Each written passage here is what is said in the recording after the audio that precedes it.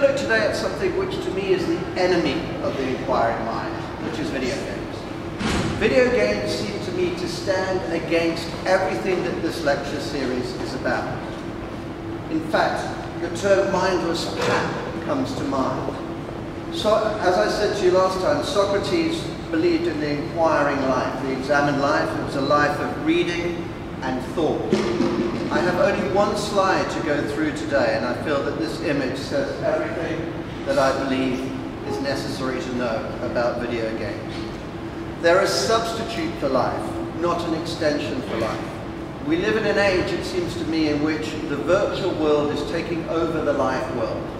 We only have to look at the effects of video games, whether it's obesity, ADHD, the hopeless addiction that they seem to inspire throughout the world.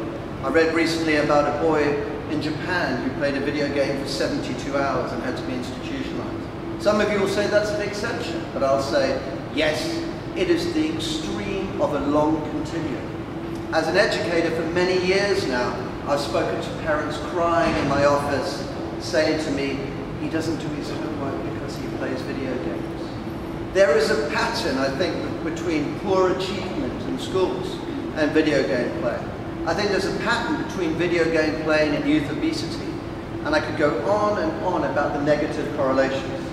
But today I've invited Mr. Anderson, who is an apologist for video games, who is going to be defending the whole idea of video games, and at the end of the lecture you'll have the opportunity of asking him some questions.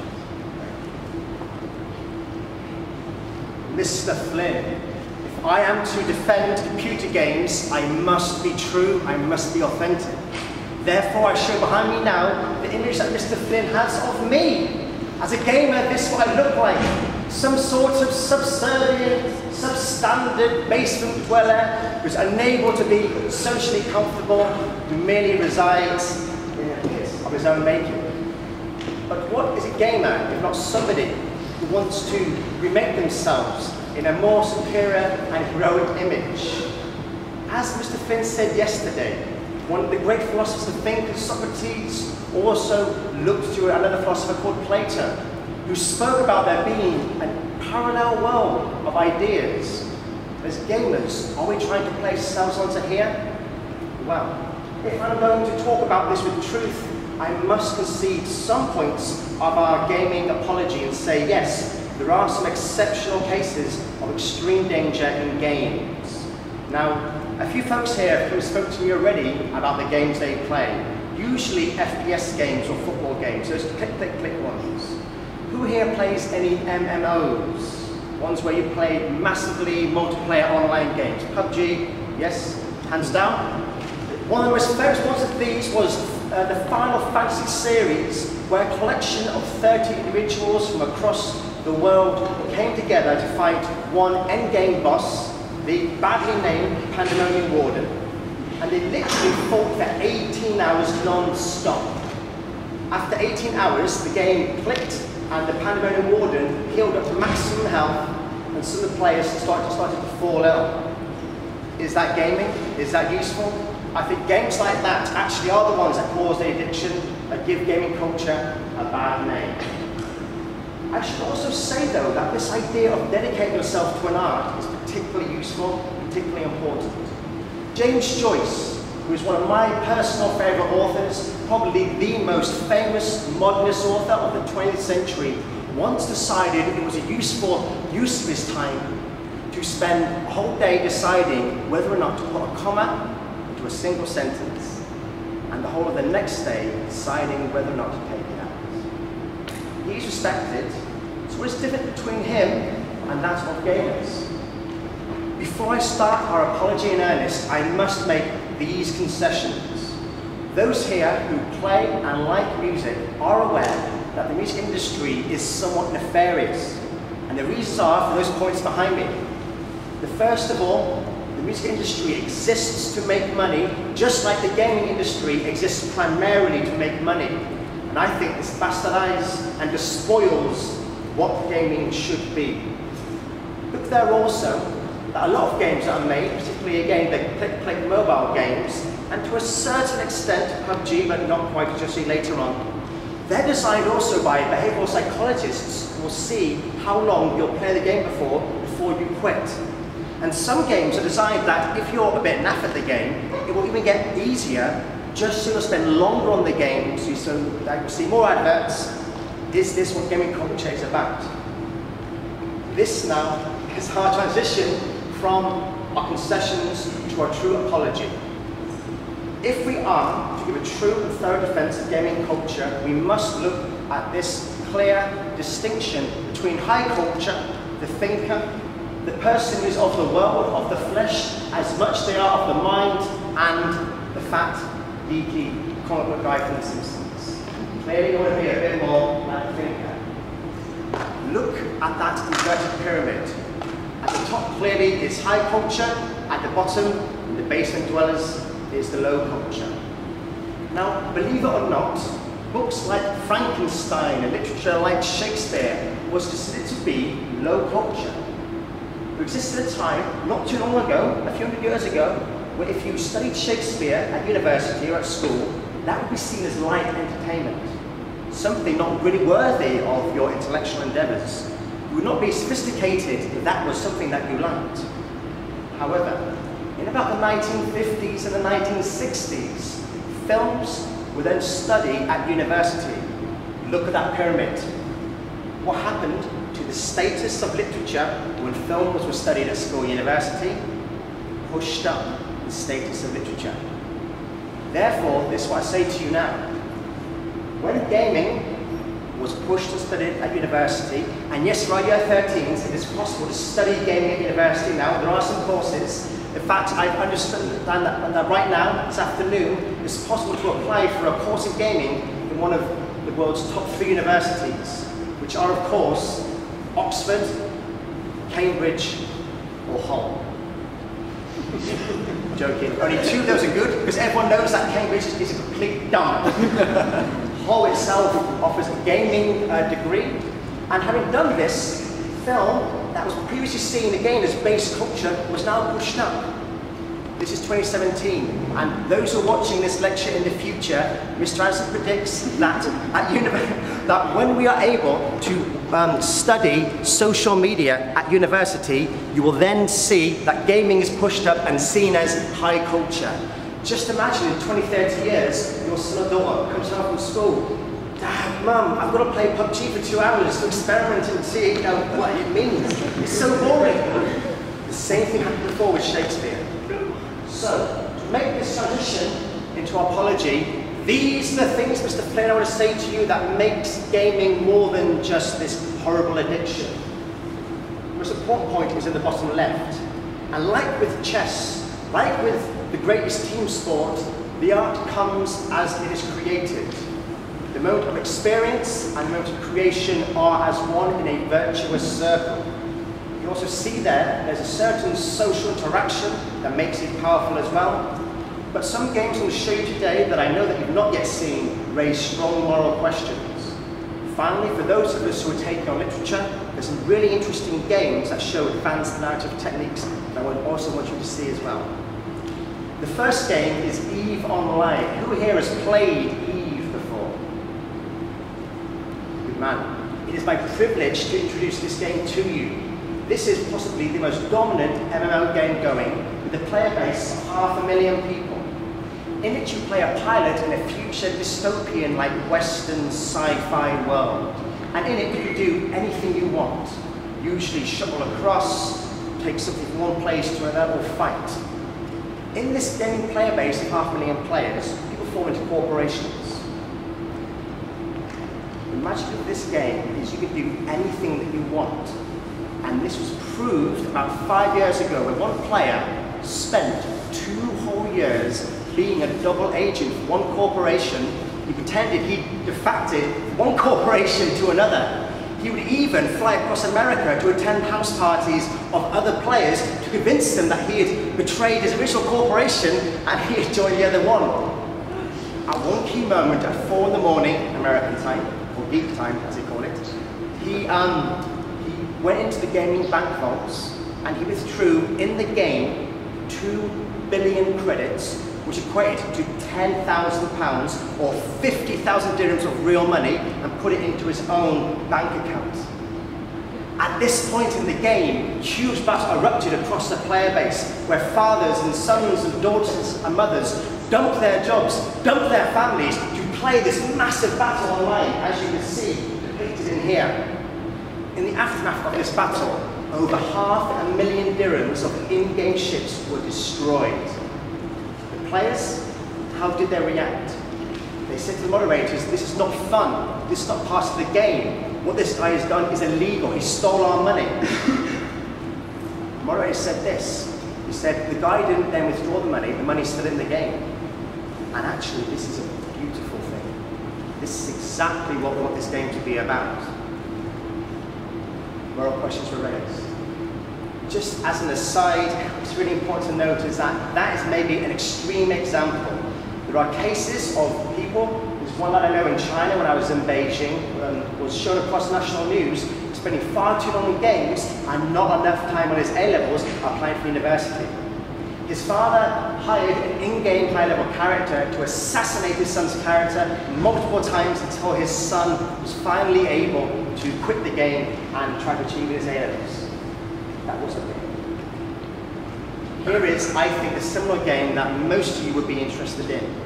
So Daisy, or uh, PlayerUnknown Battlegrounds, this one is this common battle royale game, currently the top-selling game on Steam, the PC platform and in it it raises some particular moral questions. All of these games come from an original game called Arma 2. Who here has played the Arma series before? A-R-M-A. No, hands down. A few people. Arma is a military simulation. It's not actually a game. If you play COD, again, a very popular franchise, it's about $6 billion each time they release a new version. If you shot a few times, what do you do? You retreat, you hide down, you see some ketchup in the corners, and then the blood miraculously washes from your body and you're fighting fit again. In Arma 2, like in war, one shot, you're dead. Sometimes you don't die straight away, sometimes you might be like 10 seconds before you die. But either which way, it's meant to be a simulation. Now about five, six years ago, a very famous mod called DayZ, Day of the Zombies, was born. And in it, the original plan was that players would group together and kill zombies. But what do you think actually happens when you put random people together in a survival situation? People started killing newbies and each other. And they found actually that the players were far more deadly than the zombies themselves. And I myself played this game for about six to eight hours, and only on one occasion did I meet anybody that didn't kill me straight away, usually commenting on how well they knew my mother at the same time. This moment when I met this one person, for about five minutes we spoke, and kind of like explored this particular part of the game together. And I remember, even now, stood here in front of you, this absolute sense of knowing that if I shot this guy, I can get his guns and his ammo, and the game will be easier. And even though it's just a game, for some reason it really meant something there at the time. Playing on Battlegrounds is interesting, it's useful, but playing it, it's really easy to respawn again. DayZ, oh, you play it for sometimes an hour and a half, 90 minutes before you see somebody. So they shoot you, it gives you that horrible feeling. Which game is more enjoyable? Like PUBG, like obviously. Which game did I feel more of an experience? DayZ. Another version of this though is a game made by War Child. This goes beyond winning and losing, and this is certainly the kind of game that I would want you to play. In this you play a family or, or friends who are trapped in a war-torn scenario. Imagine a place in the world where that would be. In it, you scavenge for shelter, food, and perhaps some things to entertain you. But the game is not simply something where you're trying to pop up health bars and such like. I played a version of this game where my family ran out of food. And when the characters scavenged and they found a tin of tuna and the choices were either give it to the father character in order so he has more health and stamina and vitality to scourge in the future. Maybe I want to give it to the child who is actually so weak that they might die. Or maybe I needed, needed to give it to instead the mother was so disturbed at this point that she might actually break. In the game, I gave it to the child, and the next day, the mother had committed suicide. Go online, some people have got like win guides to this game, and it's obviously completely beyond the point. This is an indie game. This is the kind of game that you want to be looking at to play. Two hours, that was enough. Who's played Company of Heroes? Do you know what I mean when I say an RTS game? The biggest difference between um, the first-person shooters and the RTS games is that the RTS games are far more cerebral. In this, you play a general in an army where you can control um, infantry, uh, tanks, so on and so forth. In it, you can also play this part in the Russian front. In the Russian front, at one point in the game, it deliberately designs itself so that you have too many people to control and too many enemies to fight. It has no save function. So play for half an hour and you have that horrible feeling of frustration that all my time is going to go down. I know that I need, I need to do some marking. I can't do any more on the game. Eventually, my army's overrun. I'm there saying some like interesting words myself. But then the game just reveals that actually that was meant to happen. And that whole slew of other soldiers come on the field. And you realize that war is not about winning or losing. It's about a different experience instead. So, having mentioned to you about these moral games, I'm going to show you very quickly three or four narrative-based games. Have you folks heard of Dear Esther? It's a modification for Half-Life. Who here has played Half-Life? Again, it's a privilege to introduce this to you. It is considered to be the best game of all time. I would say now it is the best paced game of all time. Look online, Half-Life 3 means like bound because Half-Life 2 is considered to be the best game that's ever been made. Dear Esther is a game where you walk through an island. It's based on this experience of someone who used to live in Wolverhampton, so clearly it's a horror game. and from this, the question is, is this a game or is this a, or is this a story? Deus Ex, heard of it? You must play this. I remember I first played this in 2000 when I was um, at university. I played it, I completed it, it was 25 hours long. And I was sat in the Resnikov bar and I said to one of, one of my pals just how much I enjoyed the end of the game where me, as this like future um, like sci-fi soldier, teamed up with my brother in the game. We took down this corporation. And I will never forget how my pal said to me how he shot his brother in the head for a laugh in the first five minutes of the game. And researching this further, the game's got 10,000 hours of possible gameplay in it, and one choice can change the entirety of the game itself. This really is something different. This really looks at games a different way. I'm not even going to ask you about this game. Okay, I know that you know. Usually the first Elder Scrolls that you play is your favorite. So again, like to think in say 10, 15 years time, this might be your favorite version of this, and your sons or daughters will like a different version, like Elder Scrolls 5000. Again, in this, it's possible, particularly with certain PC mods, to make choices that are quite nefarious, quite evil. And the game allows you to do so. You can be a character that's not wholly good, nor wholly bad. And I think that makes this game really good. Morrowind, the third version, was much, much clearer in this. You could be a character that really was quite bad in some ways, and the game will still continue. In the later versions, the problem is that the developers are trying to make it so that the good options lead to better gameplay, which I think is quite weak. I think should be the case that an evil option still allows an enjoyable game. It's your choice to do so. Have you guys seen this yet? I was 18, so you're too young to watch it, but when you are 18 and you watch this, this is a film game where every half a minute a choice has to, has to be made. It's high production values with a budget of several million pounds.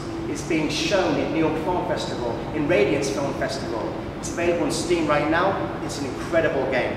Check it out. Now, one thing I was saying to the gents here at the front of the room before the start of the lecture is this. Mr. Flynn, as you say, we have to be very careful about the nature of how we want to push these games to our students.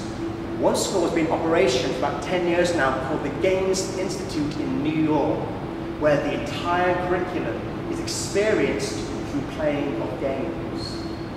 They learn history through playing civilization. They take a tribe from Stone Age to the space um, faring stars. They also discover maths through playing Victoria 2, where they take an industrializing nation. Maybe they can learn about moral quandaries from playing DayZ. This is a school that exists right now. Contact them. It's possible to go and see what they do. This now is the penultimate slide, and I want us, I want us to leave us on a few ideas about this idea of what it is to be underground. When I spoke to you about this war of mine, Company of Heroes, and to a certain extent, Deus Ex, these are not mainstream games, these are what we call underground games. I'm sure you know again that with the music industry, we have mainstream music and underground music. And personally, I would find it really cringy if like my teacher liked underground stuff. Because by the nature, underground stuff needs to be something that's part of your culture and not part of mainstream culture. Mr. Flynn, I say that yes, commercial, popular, industrial games are nefarious and they are evil. Looking around now, we can see that in our school, our education of games is quite weak, truth be told. And it's these indie games that are actually games that are worth us playing. So this is the last slide that I leave you on. Who here has ever watched the play, or the film version, History Boys? Put your hand up, please. My life, hands down. This film that you absolutely must watch. This is you right now. A collection of people, they're in a northern grammar school, and they're at the cusp of going to university. They feel the pressure of bettering themselves. And each of these has a certain personality, a certain type that hopefully you will recognize yourself in as well. In it, they have two teachers. Two chaps over there, the form tutor. One teacher is the trendy young teacher who teaches the idea of education and thought had been about style and um, elasticity. The other chap, the fat bloke in the waistcoat, teaches about the importance of high culture. And a part of all of this is the idea that to really be full, true men and women in your life, you need both the high culture and the low culture. And if you commit yourselves to only one part of that, to only play the FPS game, you're not, or you're missing out massively so from this. Some of the best art, like Shakespeare, is both high and low The references to high thinking art, there's the most depraved, nasty joke that's also made within the same breath. I'll leave you with this. On there are two words, movies and film. Movies, of course, are things like Shrek and Die Hard. Film, things are more difficult, Apocalypse Now, Interstellar. Do we yet have two different words for game? The day that we make this word, and maybe at some course in your life, you'll be culturally influential enough to make that division there yourself. I know this um, uh, four chaps in Newcastle who quit their jobs, they made their own developing studio, and from this they're making a game called Project Zomboid. Have you heard of it? Tonight, go on, Google it. They sold 250,000 copies of this game before they even made it, at the price of £10 for each game. They are redefining what it is to make a game. To be a gamer, to make games, doesn't mean about dedicating yourselves to it. It means two hours having an experience that you couldn't have with anything else. Mr. Flynn, Des, I've convinced you of how gaming culture is important. We need both the high ground and the low ground.